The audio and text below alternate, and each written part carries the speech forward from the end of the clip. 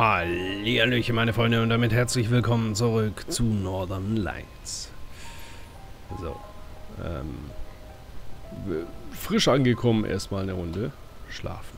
So, wir sind nämlich ausdauertechnisch ziemlich müde. Wir müssen wohl alle Kartenteile finden, um dann irgendwie von dieser Insel runterzukommen. So, mitten in der Nacht aufgewacht.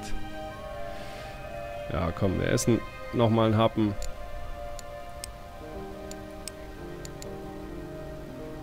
Eingekochtes Ei. So. Sieht's aus. Ja, trinken könnten wir. Aber wir haben jetzt kein Feuerholz für da. Kann ich da eventuell auch was anderes reinschmeißen? Zunder. Zünder.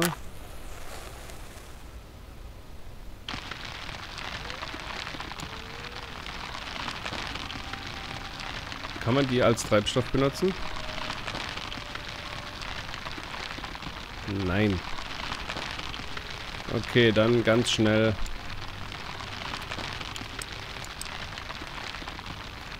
Ganz schnell Schnee schmelzen.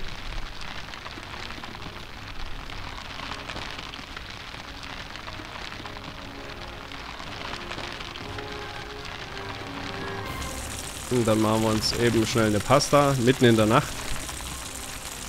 Ja, kennt ihr doch, oder? Mitten nachts um, keine Ahnung, 12 oder so. Erstmal eine leckere Pasta kochen, so ein Fertigding. Ich hoffe, das Feuer reicht. Ja, steh halt ganz rein, dass du dich wieder verbrennst. Ah, Treibstoff haben wir noch. Kann das sein, das Nest? Oder den Stoff? Oder das Papier? Papier geht nicht. Dann ist Papier wahrscheinlich eher Zünder. Äh, Zunder. So, einmal leckere Pasta essen. Vollgestopft.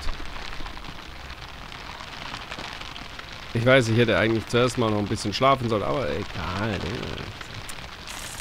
Wir machen das so, wie wir es machen. So. Und dann den wieder weg. Feuerchen brennt noch und wir schlafen weiter. Ja, ich weiß, ich sehe es, wir, wir kriegen jetzt wieder Hunger und äh, Pipapo. Macht gar nichts.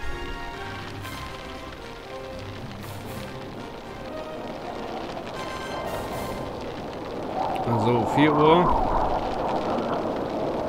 4.42 Uhr und es zieht schon wieder ein Sturm auf.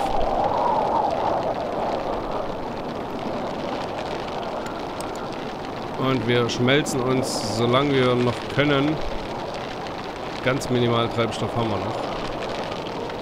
Wofür ist das hier? Ist doch auch eine Kochstelle, oder nicht? Komisch. Ähm, schmeißen wir uns nochmal den Topf drauf und machen uns nochmal Wasser.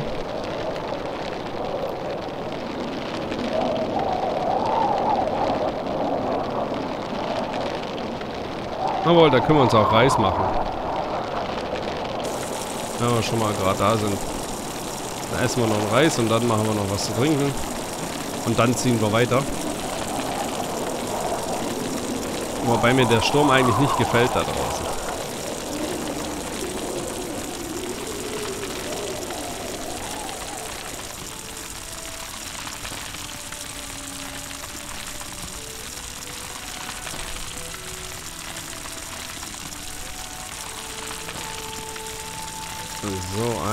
Reis, nam nam und nochmal Schnee kochen.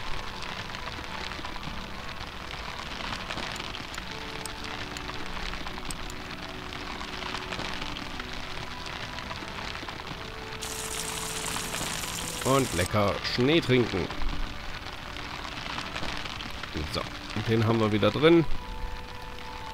Wir haben es 5.14 Uhr und sind voll ausgeruht und voll fit. Ist da wieder was gespawnt? Nein. Hätte ja sein können. So, Feuerchen lasse ich brennen. Wir düsen weiter. Wohin denn? Yachtturm. Ich würde sagen, in Richtung Osten. Und dann so ein bisschen hoch.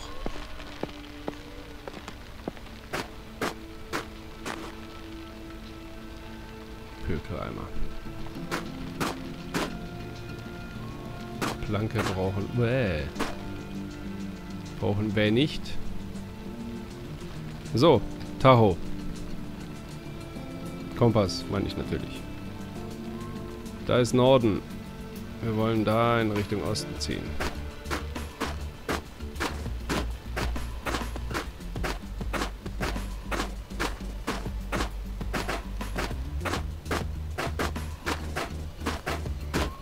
Jetzt stolpert doch hier nicht so.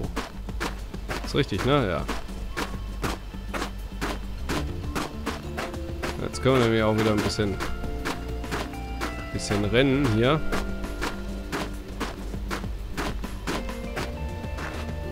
Erstens, weil das Inventar leer gefressen ist und zweitens... Oh, wir sind schon wieder, wir haben schon wieder hier ganz viel Energie verloren.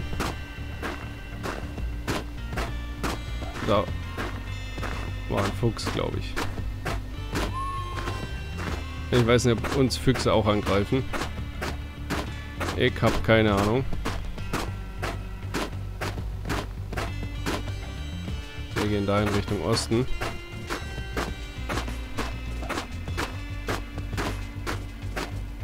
Oh oh, Wildunfall. Oh, das war aber knapp. So, sind wir richtig? Wir gehen hier rüber, sehr gut.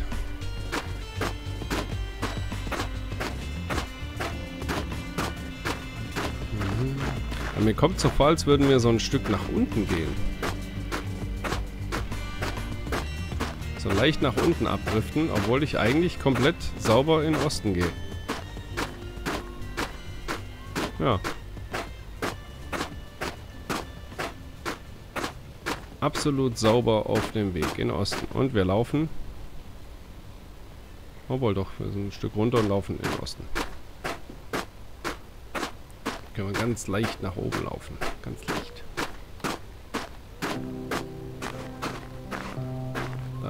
wieder Wölfe. Das gefällt mir gar nicht. Das gefällt mir nicht, dass da Wölfe sind, gell? Die Sauhunden, derbigen. Das kann es ja nicht sein, dass da die Wölfen rumrennen da. Mistviecher. So. Und die heulen auch hier rum los mit euch? Sonst kann ich denke, oder was? Sind ihr bescheuert?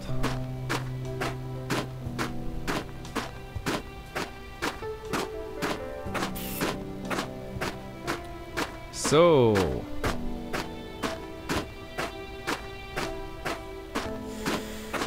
Schönes Wetter, ha? Schön. Sonnig. Ah, toll. Schönes Wetter für einen Spaziergang in der rauen Natur. Oh, eine Straße. Schön. Soll ich der Straße folgen? Nein, eigentlich nicht. Ich schau mal auf die Karte. La Carte.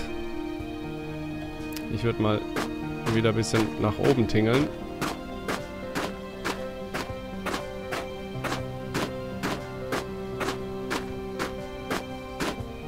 Nur, dass wir so ein bisschen in die Mitte des Gebiets laufen.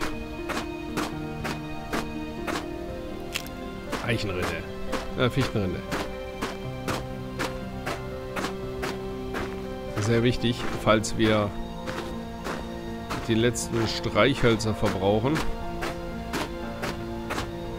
Was wahrscheinlich relativ schnell gehen wird. Da oben ist immer mal wieder Ruckelparade.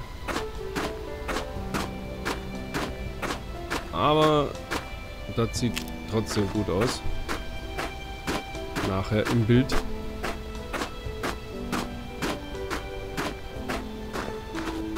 So, ich schaue mich mal um.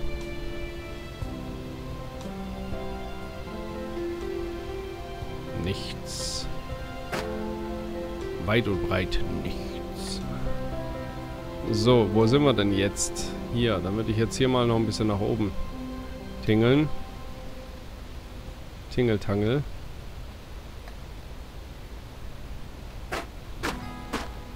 Einfach nur um größtenteils den größten Teil der Karte abzudecken. Da könnte ja überall sich ein kleines äh, Dorf noch verstecken. Äh, und riesige Ruckler.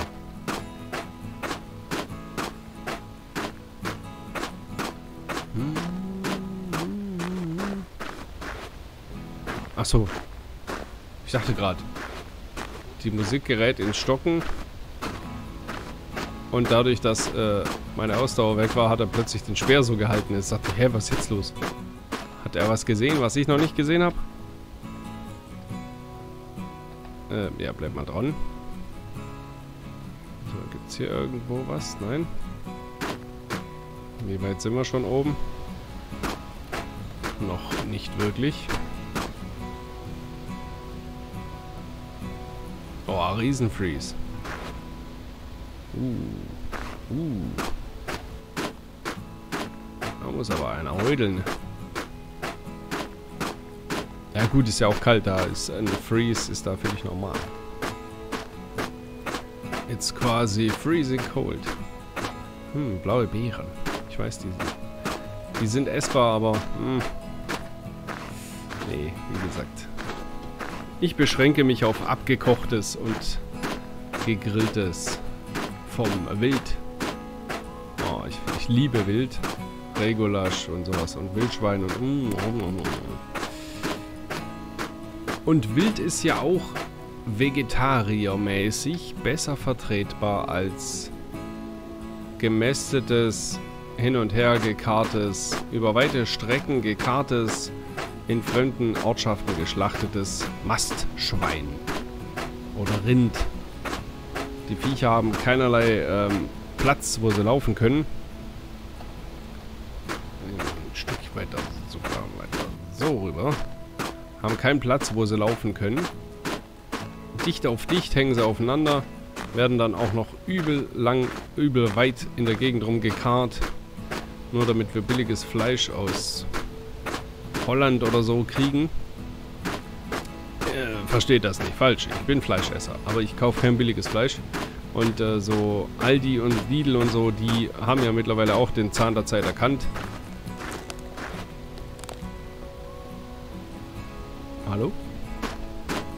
Und ähm, kaufen auch kein billiges Fleisch mehr. Also kaufen und verkaufen kein, kein Billigfleisch mehr sondern auch nur noch in guten Haltungen. Ah, guck mal, da unten ist irgendwas. Da unten ist irgendwas. Dann wollen wir doch da mal hin. Pass auf, da ist wieder so eine dumme Fischerhütte bestimmt, ne?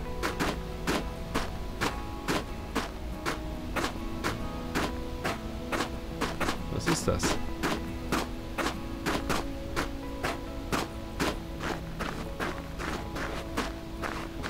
Ist das so eine... Ja, das sind nur zwei so eine dummen, dummen Hütchen da. Die brauche ich nicht, nö. Und da hinten, ich schätze nicht, dass da noch was ist. Da müssten wir ganz nach da hinten laufen. Da habe ich jetzt wenig Böcke drauf.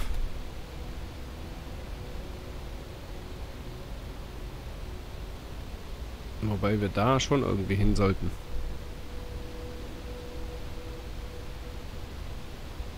Andererseits, ja, lieber da lang.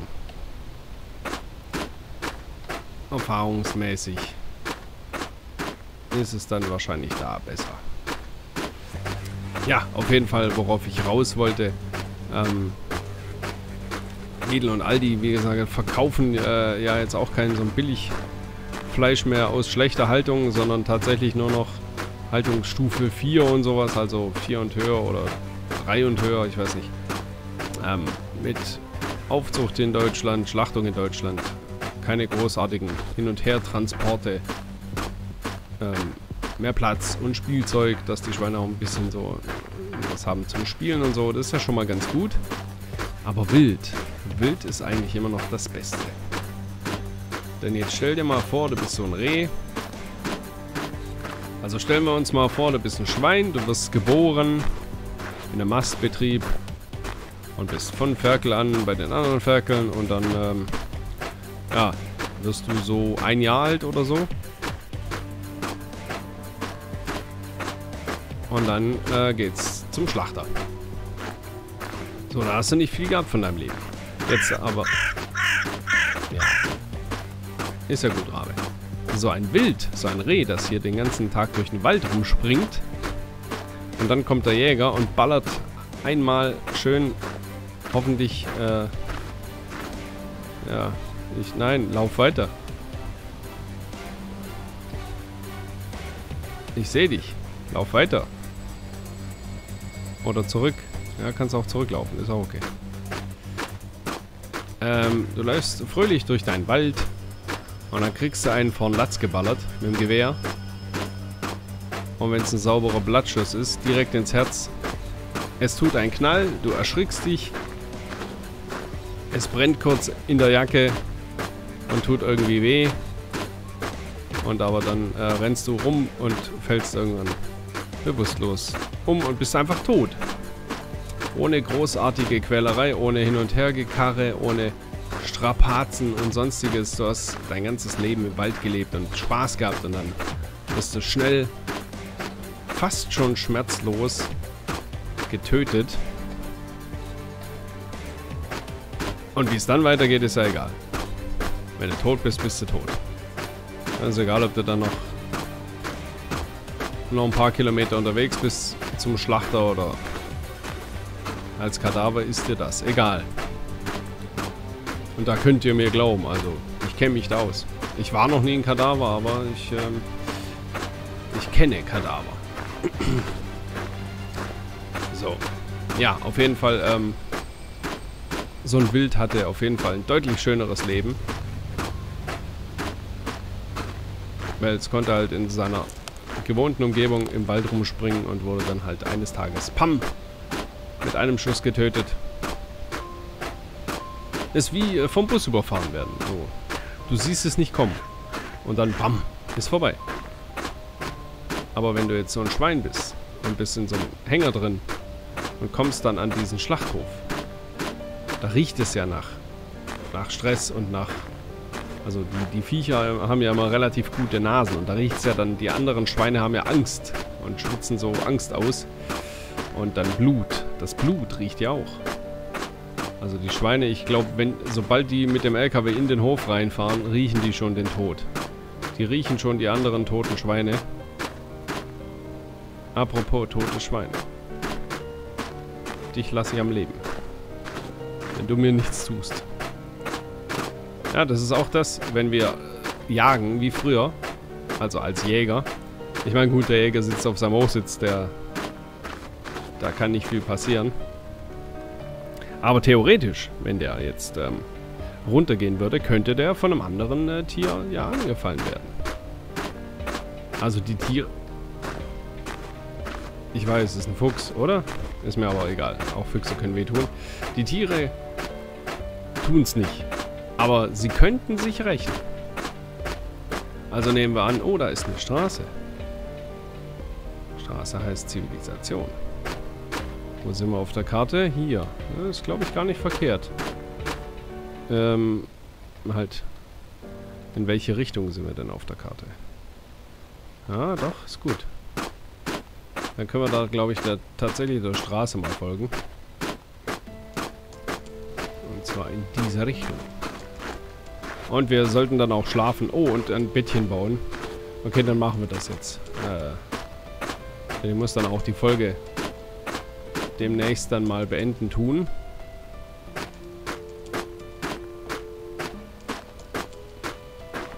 Wo kriege ich Stöcke raus? Aus Holz, ne?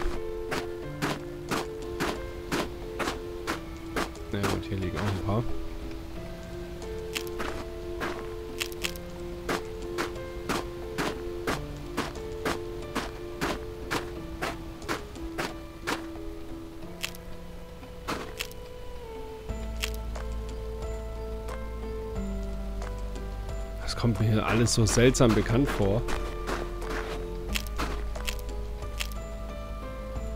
Schon komisch. Naja. Also wie gesagt, lieber ähm, Achso, ja genau, zwecks den Bären.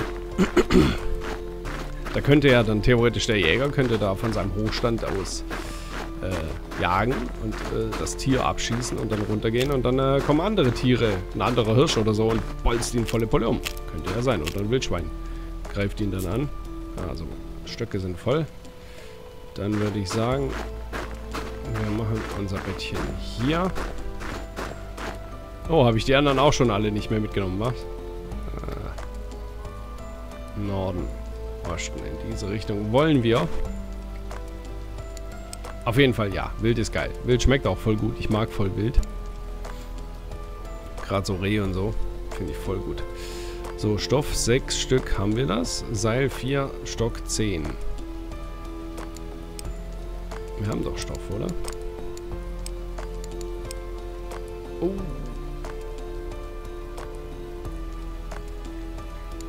Zerstören. Das haben wir vergessen. Dann essen wir das lieber schnell. Ein Ei verknusen. Wir haben Stoff viermal, aber nur. Na egal, komm, dann mach ich. Machen wir uns ein Stockbrot. Äh, Stockbett. Äh, so. Einmal lecker Stockbett. Wir müssen dann in diese Richtung weiter.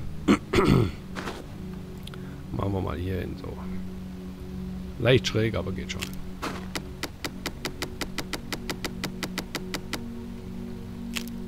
500 Stücke mehr erforderlich, oder was? Entschuldigung. Bett. Ja. Benutzen. So. Und gleich wieder aufstehen. So. Einfach nur kurz um zu speichern. Dass wir nicht so arg verhungern. Okay, gut. Dann würde ich sagen, machen wir hier eine Folgenpause. Esst fleißig wild. Denn wild hat's gut. Und Wild verbreitet sich auch. Wir haben ja keine Wölfe, die, die die Rehe fressen. Die Rehe fressen aber allerdings die kleinen Bäumchen. Die kleinen Bäumchen dürfen sie aber nicht fressen, denn wir brauchen die kleinen Bäumchen als große Bäumchen, weil wir die Bäume ja abholzen, um damit äh, Papier zu machen. Dass wir dann, äh, wo wir dann draufschreiben, äh, wir kaufen ihr Auto auch mit Schäden und das dann den Leuten unter die Scheibenwischer klemmen. Dafür brauchen wir Bäume. Für diese Zettel, für diese Karten. Wir kaufen dein Auto. Eine Schrottkarre. Ja. Dafür brauchen wir die Bäume und dann äh, brauchen wir neue Bäume und äh, wenn die die Rehe abfressen, die kleinen Bäume, dann müssen wir die Rehe äh, dezimieren. Und essen. Lecker Regulasch. So, also, dann äh, sehen wir uns morgen wieder. Hoffe ich mal. So schnell wie möglich morgen. Oder auch äh, dann vielleicht ein, zwei. Ihr kennt es ja. Ne? Äh, und dann ähm, kann es mal passieren, dass wir uns vielleicht ein paar Tage später erst wiedersehen. So, auf jeden Fall äh, hoffe ich, wir sehen uns morgen wieder, wenn es wieder ist Time to Play hier bei Northern Lights. Und dann, hey, wir sind bei Tag 4. Und wir haben, wir kriegen, glaube ich, auch XP. Also wir werden bald neue Zeichnungen kriegen und sowas. Ja, sehr gut. So, äh, bis dahin, macht's mir gut.